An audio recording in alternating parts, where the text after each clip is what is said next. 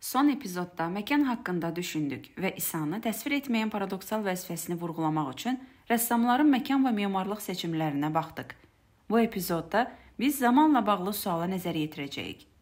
Məkan kimi zaman da mühüm teoloji kateqoriyadır. Tanrı əbədidir. İnsan həyatı müvəqqətidir.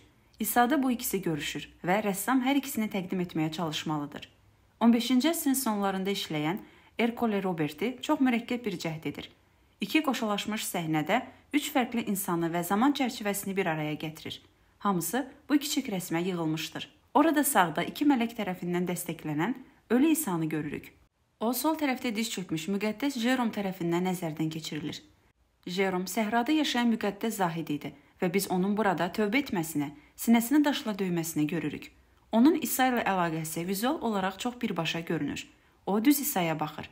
Əgər biz Jeromun 4-cü əsrdə yaşadığını bilməsəydik, onun İsa'nın məzarı önündə olduğunu düşünərdik. Arxa planda 12-ci əsrdə doğulmuş müqəddəs Fransisk var. O çarmıxa çəkilmiş və serafin qanadlarına bükülmüş İsa'nın görüntüsünə baxır. Bu, Fransiskin stigmatını, İsa'nın yara izlərini gördüyü andır və uzaqda İsa'nın xaçdan endirilməsinin kiçik bir səhnəsi var. Fransiskin yaraları kompozisiyada və povestdə çarmıxa çəkilmə yaraları ilə bağlıdır. Eyni şəkildə Jeromun çılpaq tövbəsi onun seyr etdiyi ölü və çılpaq İsanı əks etdirir. Rəsm bizi normal vaxt və xronologiya ilə bağlı gözləntilərimizə müqavimət göstərməyə dəvət edir. Bu müəyyən bir zaman nöqtəsinin realist təsviri deyil, əksinə müxtəlif dövrlərin əlaqəli hadisələrinin vizual şəbəkəsidir. Bunu mətnlə ifadə etmək olar, lakin bir rəsm əsəri müxtəlif zaman və məkanlarda olan hadisələri eyni vaxtda bir görüntüdə bir araya gətirə bilər.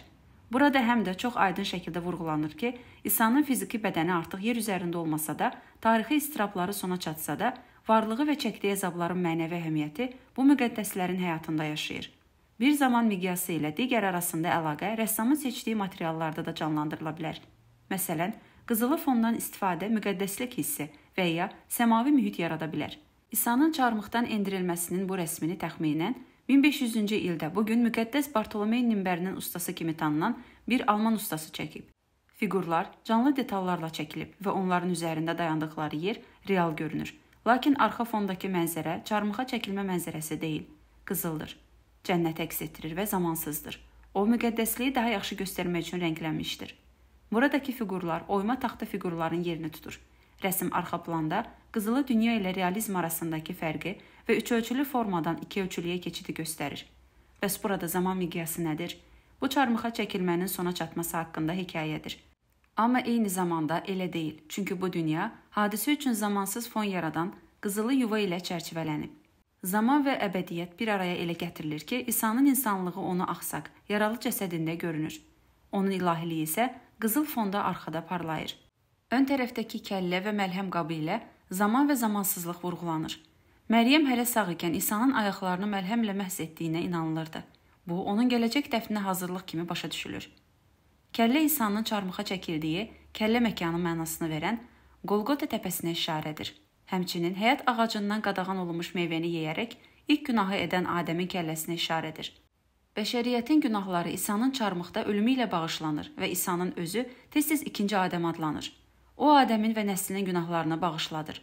Ön planda olan kəllə xristian tarixinin başlanğıcında baş verən hadisəni, xilası müəyyən edici anına və onun əbədi nəticələrinə aid edir.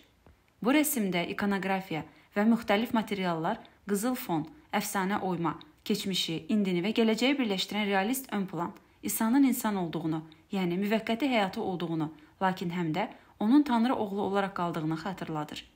Əbədi üçlük, dünən, bu gün və həmişə.